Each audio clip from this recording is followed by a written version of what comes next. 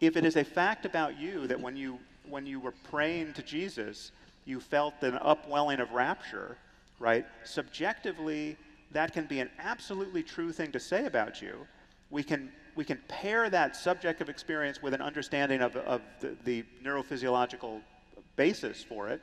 Uh, you can think about it in, in terms of a larger story about your life, but all of this can be translated into a fact based discussion about what's happening for you. And, and, and my only claim is that, that, that the value part, and hence the ethics part, relates to the the extremes of positive and negative experience that people have Okay, not- in, in their lives. I'm not, first of all, I wouldn't dispute, I don't want to dispute the fact that there are stable qualia, pain and pleasure, for example, and also that there are fundamental motivational systems that structure our perception. So as the nervous system increases in complexity, these underlying uh, nervous system subsections that produce these rather stable qualia evolve hunger, thirst, defensive aggression, sexuality, all these subsystems that, that, that label experience with, with certain somewhat inviolable labels. I, I understand that happens.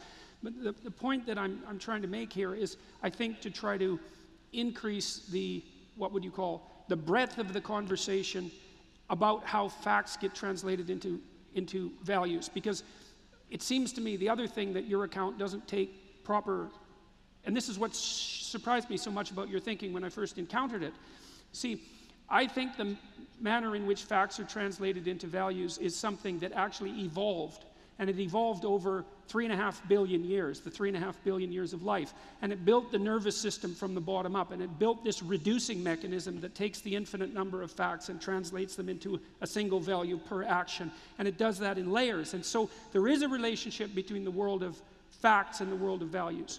And there has to be. But it isn't derivable one to one in the confines of your single existence through pure rationality. It's way more complicated than that. Well, yeah, there's more to it than rationality. Yes, I mean, ra- again, you, you, it's not rationality that causes you to remove your hand from a hot stove, and it's not rationality that causes you to like the experience of love and bliss and rapture and creativity over or more than pointless misery and and despair. Right. so, other like, thing, things other than rationality are clearly necessary, which is partly my Absolutely. point. But okay. the question is, do we ever have to be irrational to get the good things in life?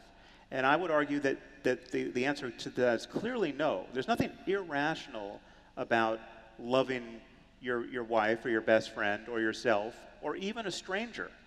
Uh, If, if, if, we, what you mean by love there is genuinely wanting happiness for that person, genuinely taking pleasure in their company, genuinely wanting to, to find a way of being where you're, you're no longer in a zero sum condition with a stranger or, or, or with a partner, but you're, you're collaborating together to, to have better lives. Well, it seems to me that so, you're not- so rationality moves through that situation continuously because rationality is the only way that you and I can get our representations of the world to cohere.